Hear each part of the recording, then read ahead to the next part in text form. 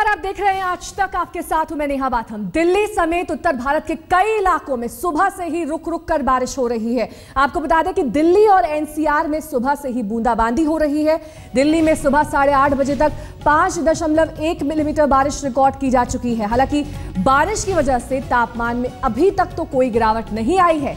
लेकिन मौसम विभाग का यह अनुमान है कि दिन का तापमान घटेगा और पाँच तारीख तक ठंड बढ़ जाएगी। दिल्ली एनसीआर के अलावा बिहार और यूपी के कई शहरों में भी बारिश हो रही है।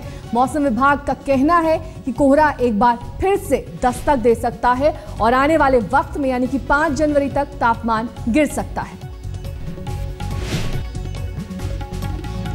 दिन के तापमान में गिरावट का अनुमान है और एक बार फिर से राजधानी दिल्ली समेत एनसीआर में तापमान गिरेगा, साथ ही कोहरा भी दस्तक दे सकता है। रेल और हवाई यातायात पर इसका सीधे तौर पर असर पड़ा है। 20 ट्रेनें लेट लेट बताई जा रही हैं। कहा जा रहा है कि अपने समय से 20 घंटे तक की देरी से कई ट्रेनें चल रही हैं। दिल्ली से चलने वाले भी कई ट्रेनों पर असर पड़ा है और दिल्ली पहुँचने वाली ट्रेनों पर भी वहीं हवाई यातायात पर भी बारिश का असर हुआ है।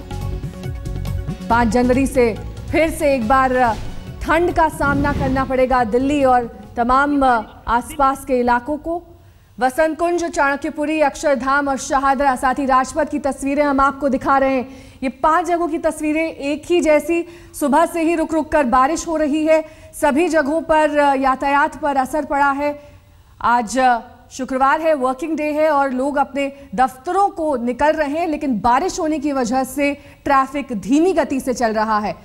वसंत कुंज चाणक्यपुरी अक्षरधाम शहादरा राजपथ, ये वो तमाम इलाके हैं जहाँ पर सुबह लगभग तीन बजे से ही बारिश रुक रुक कर हो रही है। एक बार फिर से मौसम ने करवट ली है और बारिश ने दिल्ली का मौसम बदल दिया है। दिल्ली में बारिश की वजह से अचानक मौसम में बदलाव आया है और ज़्यादा जानकारी दे रहे हैं मौसम वैज्ञानिक चरण सिंह, जिनसे बात की हमारे संवाददाता सिद्धार्थ ने।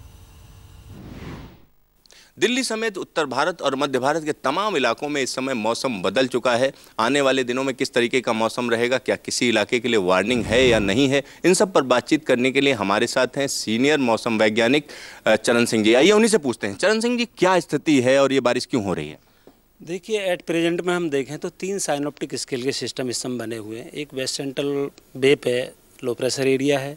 दूसरा, अगर अरेबियन सी की बात करें तो नॉर्थ ईस्ट अरेबियन सी में एक सर्कुलेशन है और तीसरा, वेस्टर्न डिस्टर्बेंस नॉर्थ इंडिया से पास हो रहा है। तो जो लो प्रेशर एरिया है बे ऑफ़ बंगाल में उससे ईस्टर्ली हवाएँ वेस्ट यूपी तक पहुँच रही हैं। दूसरा, जो जो हमारा सर्कुलेशन बना हुआ नॉर्थ ईस्ट अरेबियन सी से, इससे ट्रफिंग उत्तराखंड तक जा रही है। तो इनके इंट्रैक्शन के कारण entire central India, east India और पेनसुलर इंडिया में हल्की फुल्की रेंज चल रही है जहाँ अगर हम खास तौर से बात करें तो सेंट्रल इंडिया की सेंट्रल इंडिया में फेयरली वाइड स्प्रेड यानी कि बहुत ज़्यादा स्थानों पर बरसात हो रही है। आने वाले दिनों के लिए क्या सर्दी जो है एक तरीके से फिर से वापसी करेगी या नहीं करेगी? देखिए सर्दी तो ज़रूर वापसी करेगी क्योंकि अभी सीज़न है जनवरी फरवरी विंटर मंथ होता है। हाँ अगर प्रेजेंट की बात करें तो अगर दिल्ली की बात करें तो दिल्ली का तापमान आज 10 के आसपास रिपोर्ट हुआ है। तो हम कह सकते हैं कि एक वेस्टर्न डिस्टर्बेंस पास हो रहा दूसरा कल से इफ़ेक्ट करेगा। तो कम से कम तीन से चार दिन। दिल्ली के और नॉर्थ इंडिया के जो तापमान उनमें ज़्यादा गिरावट नहीं होगी और दिन में कोहरा भी नहीं रहेगा। दिल्ली समेत पूरे एनसीआर में बारिश हो रही है। नोएडा का हाल बता रहे हैं मैं संवाददाता चिराग गोठी दिल्ली वासी को एक तरफ़ जहाँ कोहरे और ठंड की मार झेलनी पड़ रही है वहीं दूसरी ओर बारिश ने दिल्ली वासियों की मुश्किलें और बढ़ा दी है। गुरुवार देर रात, यानी नए साल की रात से ही दिल्ली में झमाझम बारिश हो रही है, इस वक्त की बारिश हो रही है, जिसकी वजह से न केवल मौसम ठंडा हो गया है, बल्कि मौसम विभाग का कहना है कि बारिश अगर ऐसे ही चलती रही दो तीन दिन तो मौसम और ज़्यादा ठंडा हो सकता है। बहरहाल, अभी तो जो टेम्परेचर रिकॉर्ड किया गया है, वो पंद्रह डिग्री रिकॉर्ड किया गया है, लेकिन अगर बारिश होती रही तो टेम्परेचर और डाउन जाएगा, जिसकी वजह से निवासियों को बढ़ाने में ठंड फिर पड़ सकती है। इस वक्त हम डी नोएडा पर मौजूद है और आप देख सकते हैं कि सुबह के तकरीबन साढ़े आठ बजे और अभी भी बारिश जो है हो रही है और मौसम जो है सुहाना बना हुआ है। जिस तरह से पहाड़ी इलाकों में लगातार बर्फबारी हो रही है, बारिश हो रही है, उसकी वजह से ही नॉर्थ यानी पूरे उत्तर भारत में मौसम जो है वो कड़ाके की ठंड पिछले कई दिनों से देखने में महसूस हुई। टेम्परेचर सुबह के समय चार डिग्री, पाँच डिग्री तक भी रहा। कोहरा भी दिल्ली वासियों को झेलना पड़ा। लेकिन अब चूँकि नए साल की रात से बारिश हुई तो ऐसे में मौसम में एक और करवट बदली और ये माना जा सकता है कि अभी मौसम और ज़्यादा ठंडा होगा कुछ एक दिनों में आने वाले में। ऐसा मौसम विभाग का अनुमान है। कैमरा दिलीप उपाध्याय के साथ चिराकुट नोएडा तो मौसम वैज्ञानिकों का ये कहना है कि पश्चिमी विक्षोभ, यानी कि वेस्टर्न डिस्टर्बेंस की वजह से मौसम में इस तरह का बदलाव देखा जा रहा है। लेकिन सिर्फ़ दिल्ली एनसीआर ही नहीं, देश के कई और ऐसे शहर हैं।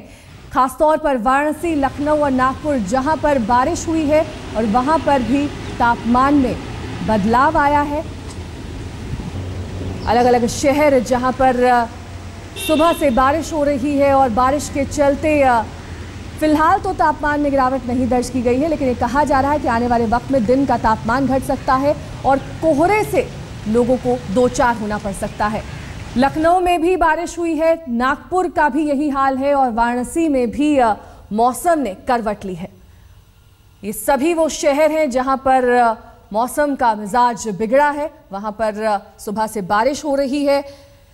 50 ट्रेनें अपने निर्धारित समय से देरी से चल रही हैं, जबकि अगर आपको बता दें कि आठ ट्रेनें ऐसी हैं जिन्हें रीशेड्यूल किया गया है, वहीं पूर्वी उत्तर प्रदेश, मध्य प्रदेश और उड़ीसा में कल बारिश हुई थी और आज भी वहाँ पर बारिश दर्ज की गई इसके अलावा पश्चिम बंगाल, महाराष्ट्र, तमिलनाडु और कर्नाटक के भी कुछ हिस्सों में बारिश हुई है।